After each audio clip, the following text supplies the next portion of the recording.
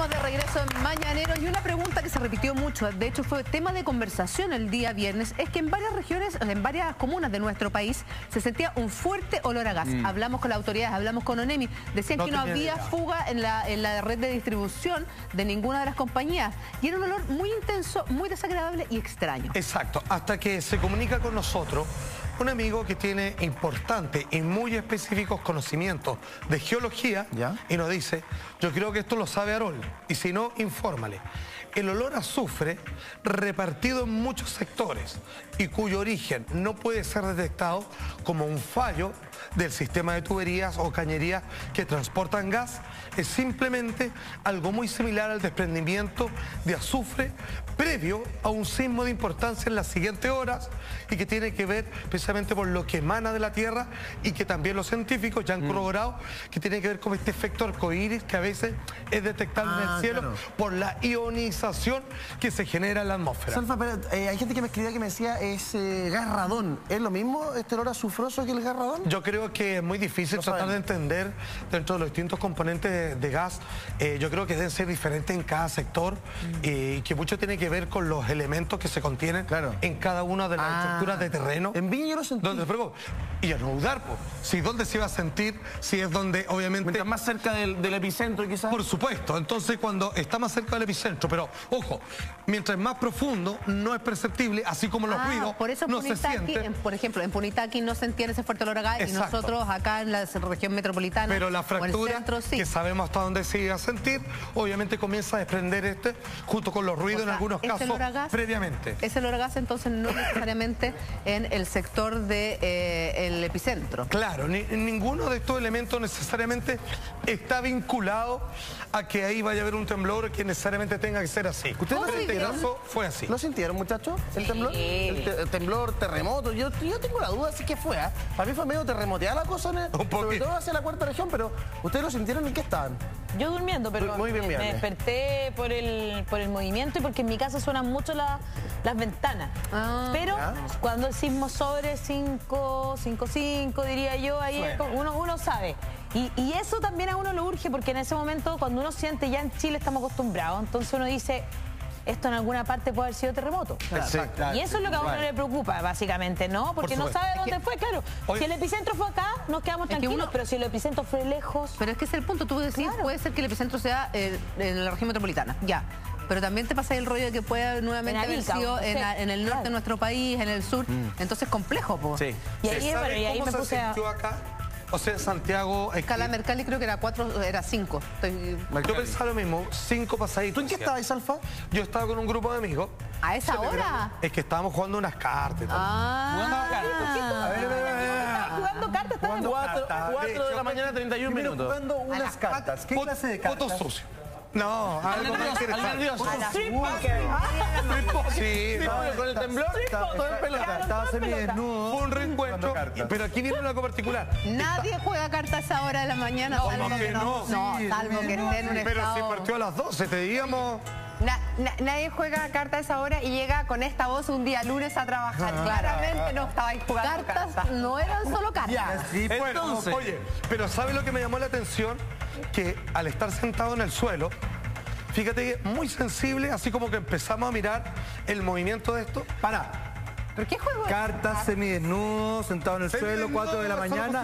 ¿Qué es esto? No, ya, atención. Y fíjate que hay algo que percibí que al estar muy sensible y, y muy sintonizado con el movimiento, algo que nunca había percibido antes, que es cuando termina, es como que se mueve ese pez y se encajó. Es como que pum, y se va a parar así. ¿Tú sentiste cómo se encajó? Te juro que al estar así, como, como no me desperté, estaba despierto, estaba así como me dejé sentir comer.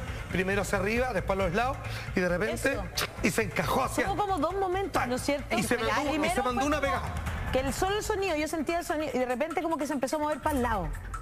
Fue- y fue largo igual. ¿no? Súper largo. Sí. No, si fue súper largo. De hecho, yo me desperté y le dije a mi, a mi marido, le dije, anda tú a agarrar a uno de los niños, yo voy a agarrar al otro. Como que yo dije... A uno le se- queda la se sensación que va a viene- seguir y va fuerte. Claro, Claro, se viene. es el problema. Pero no, no- no fue, o sea, ahí terminó y fue como bien constante. En ese sentido, Haroldo, ¿es normal que un fin de semana en nuestro país sintamos más de 20 sismos y sobre todo 3 sobre 6? Uf.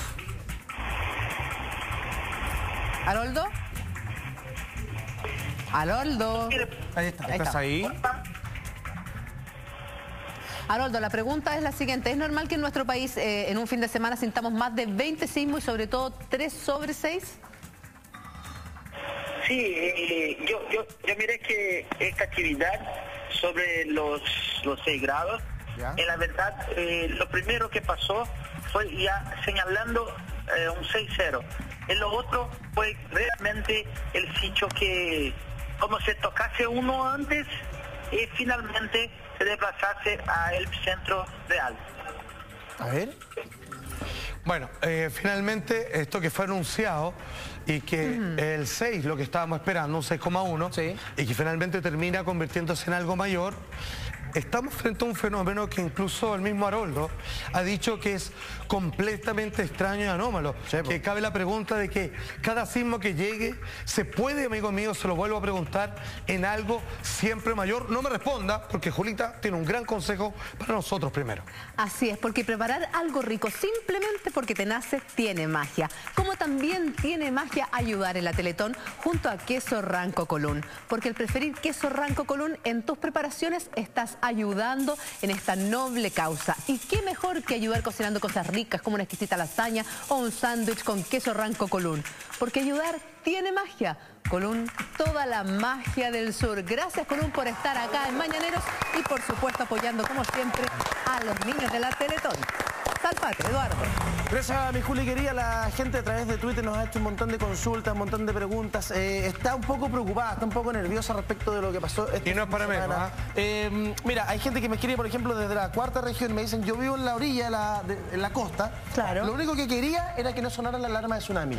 Porque claro, Ay, como sí. estuvo al límite, fue un 6.8, si hubiese sido 6.9, un 7, ya es como para que empezar a además la alarma de tsunami, eh, como yo pasé el terremoto allá, te obligan a salir. po. Claro. O sea, no hay ninguna posibilidad que tú te quedes. No opcional. No opcional, exacto. Obvio. No es una opción. Tú no decides quedarte en tu casa. Y tienes que salir y hace frío y con los niños y, Y tal cerro. Ayer ponte tú, que hay más viento, estaba en un ¿cachai? almuerzo y había una amiga mía de que ella le, le tocó el terremoto del 2010 en Concepción, Oh. en Constitución. Está ahí, Entonces. ¿sabes lo que Uf, ella, lo que ella- histórico. Y ayer obviamente que salió el tema del, oye, sintieron el temblor, sintieron el temblor.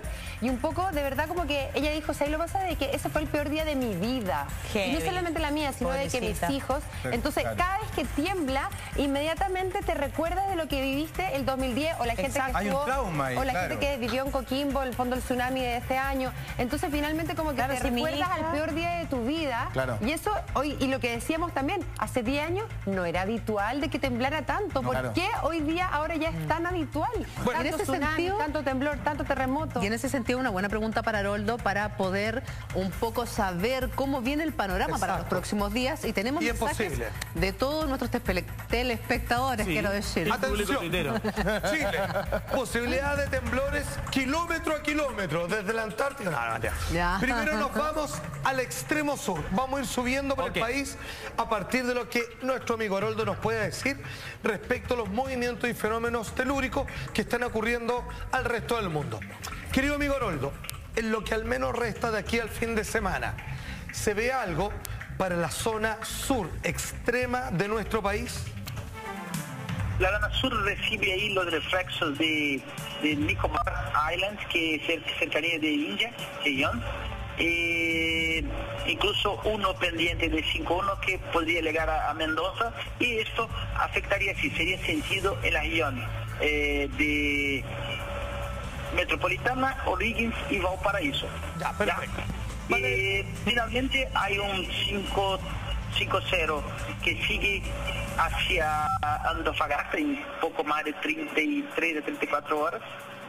Y solamente un pendiente que este yo no tengo seguro acá, pero hasta la tarde te le puedo enviar, que es un 6-5 que todos lo ya lo sabemos. Eh, algunos señalan como C8 en Nicobar y otros señalan como 6-5. Así que, por no tener seguridad, vamos a aguardar ahí un rato más y te lo envío ya con todos los detalles y como siempre. Ok, hay un 5-1 pendiente que primero debiera ser perceptible en Mendoza Ya. y luego, al seguir ese camino, Mendoza y luego lo único que queda es Chile, Claro.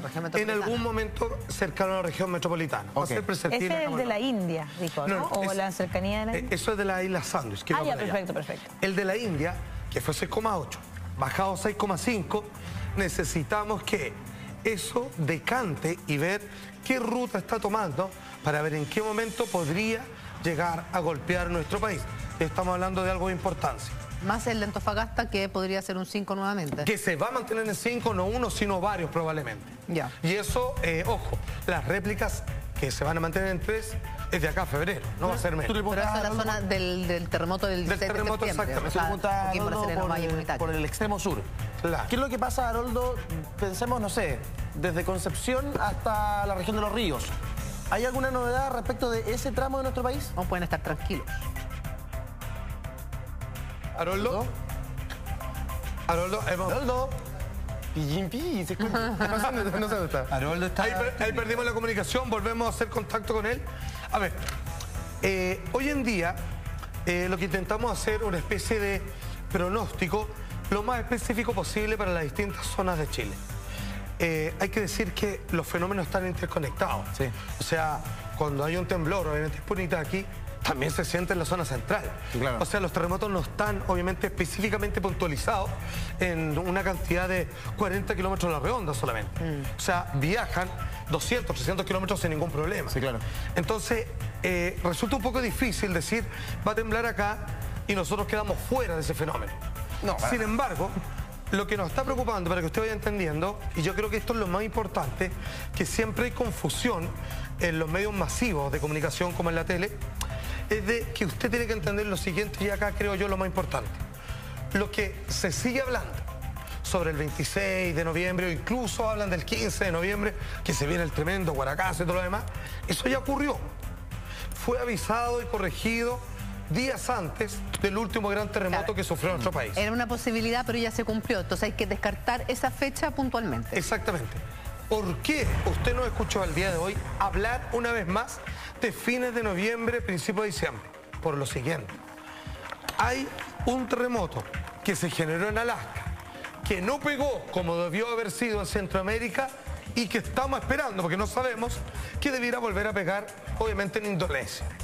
De ser así, estaríamos una vez más, nuestro país llamado Chile, en la nómina para que probablemente un mes más, estamos hablando, siempre en las típicas fechas de nuestros terremotos, mediados de enero, quizás, aquí yo estoy haciendo los cálculos según lo que he aprendido, principios de febrero, un terremoto que si es que ocurre, podría ser sobre 8, o sea, un terremoto más con todas sus letras, que incluso para Chile afecta Pero eso- geográficamente a nivel personal. Eso todavía no está claro. Para eso queda Falta un mes mucho y Haroldo para llegar a entender. claro. Hemos logrado restablecer el contacto telefónico con Haroldo Maciel desde Brasil. Amigo mío, gracias por tu paciencia, gracias por tu entrega constante con el programa.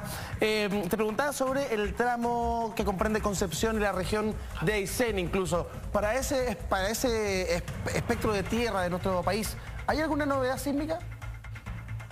Eh, los, los reflexos, o sea, no puede llamar ni de ondas la ola B ni la onda S. Sería algo nuevo, no está en la literatura, pero todos sabemos que este temblor eh, hizo sonar los, los sismógrafos de esa región, indicando, o sea, señalando posible actividad en los próximos días. Hasta ahora solo puedo decir que si viene, sí, eh, los reflexos que puede llegar a 4, 4, 3, 4, 4, que eso no es preocupante, pero una evaluación poco más eh, profunda para saber eh, si hay alguna actividad. Eso para sur. Ya. La región central tenemos ahí la- el mar de la India, un 5,1, Ya. que estamos ahí ya en la próxima, hablamos de 30, pero ya estamos en el límite, hace 24, 26 horas aproximadamente, tendríamos ahí eh, un temblor en Mendoza, eh, los discos mayores son para Mendoza, y si no pasa, si me equivoco en la profundidad, solamente ahí podría pasar adelante la costa de Valparaíso. Haroldo, un segundo, ¿Ya? un segundo, por favor. Eh, ¿Sabes qué? Antes de irnos a la tanda comercial, Haroldo habló de que en Santiago íbamos a comenzar a sentir temblores supuesto. en torno a los 3, 3 y medio. Y ocurrió. Es, es bien sorprendente porque eh, acaba de temblar eh, las termas del Flaco. Sí. ¿Ya? Eh, a 52 kilómetros de profundidad, eso es la sexta región, entre la sexta y la región metropolitana. 3.0. O sea, los fenómenos en la zona central, de alguna manera, ya se ha agatillado, ya está comenzando a suceder lo que Haroldo dijo hace media hora atrás. Exactamente, muy bien amigos míos. Solo recapitulando, querido amigo Haroldo, para el sur, a la gente que vive en el sur y que obviamente ha vivido, ha vivido dos de los terremotos históricos de nuestro país, uno hace muy poco y otro en el año 60, hay que acostumbrarse a reflejos, como lo dicen, obviamente en, en términos de réplicas en la academia, 4,4 alrededor de aquí en los, re- en los días que restan para el próximo mes. En cuanto a la zona central, comienzan los reflejos de lo que acaba de ocurrir en el norte, manteniéndose en los tres. Ojo, esto va a ser todo el día, todos los días. Fijado para Mendoza. En caso de que los cálculos hagan que esto se desplace, podríamos sentir un 5 en la cercanía de la región metropolitana. Ok, eso va del sur hasta el centro de nuestro país. Perfecto. Pero Haroldo, una pregunta que eh, nos han hecho mucho y se repite es la siguiente a través de Twitter que quiero leértela. Lorena Francisca nos dice lo siguiente. Posible sismo en Santiago por temblor en Argentina. ¿Qué pasa con la falla de San Ramón? Wow. Eh, Yo me asusto. Lo que pasa es que una cosa que está a mil, a millares de años, eh, como que durmiendo, está ahí eh, acumulando energía, necesitaría de algo mucho más fuerte para despertar. O sea, algo que está miles de años parado no, y no fue despertado por fuertes temblores como los otros ocho que escuchamos hablar en Chile, no sería eh, el, caso de que unos cinco o un seis o algo así podría de- despertar eso. Por lo menos yo creo que tendría que ser algo mucho más fuerte para que en la falla. O sea, para mí aún sigue tranquilo la falla. Perfecto. bueno. Atención. Esto es muy importante que lo entendamos, pero lo que voy a decir es absolutamente con toda la información que tenemos a nuestro haber y con los pies muy en la tierra. La falla de San Ramón se activa por sí misma, tiene un ciclo que algunos dicen 7.000 u 8.000 años. Hay data de dos, dos eventos que han ocurrido, que están marcados por una separación de tierra impresionante. Claro, cuando un desnivel que se genera ahí. eso ocurrió hace 14.000 años y hace 7.000 años. Cuando digo hace 7.000 años, que esos 7.000 años ya estamos. O sea, puede ser hoy día como en mil años más. Entonces, fue, precedido por algo, por algún evento particular. hace 7.000 años no había nada, así que imposible se saber. No. Claro, se sabe que se movió la tierra, pero no sé. Lo que se sabe es que se corre hacia arriba y es, no se sabe si realmente es un terremoto o es un fuerte, brusco y espontáneo movimiento. Como una fractura. que pero así brutal, o sea, algo como que no se parece a ningún terremoto, sino algo quizás mucho peor que debe durar un segundo, pero de donde todos yo creo que quedan, digamos, arriba en el aire. O sea, vamos a ver saltar. Lo que dice un vamos a poco. Haroldo es que según lo que él cree, eh, Ah, un es que aquí viene la- 6,8 aquí viene la o un segunda 5 teoría. es incapaz de poder eh, de, a- a- activar esta falla. Entonces, la primera teoría es que esto ocurre cada 7.000 años, no sabemos, pero no necesariamente que algo lo active.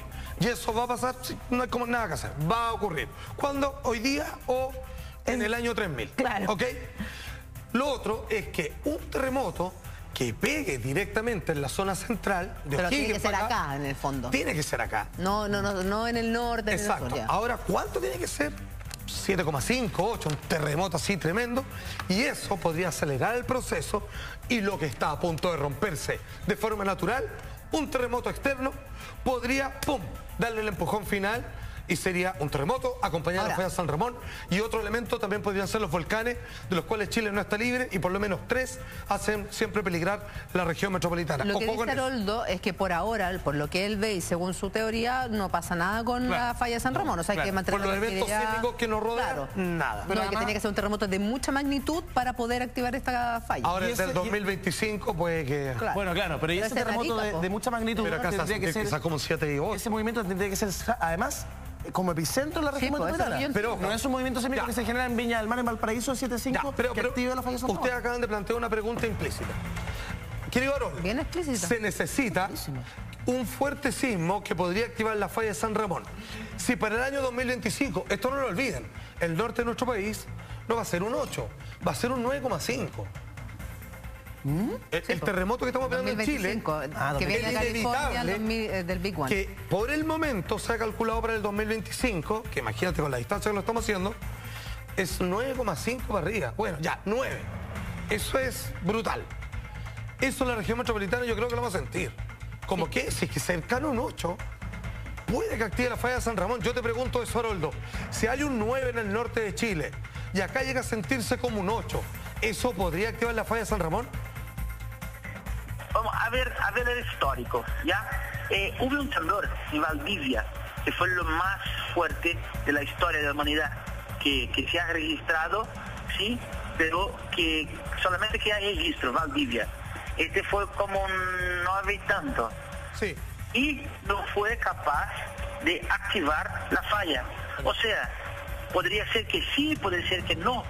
Eh, la verdad es que nadie se conoce, hay un estudio muy nuevo de la falla y solamente que puedes hablar los científicos es un promedio de 7 y 8. O sea, el promedio de 7 mil y 8 mil años es como 7 mil 500 años. O sea, podría ser sí hoy o podría ser como 500 años más.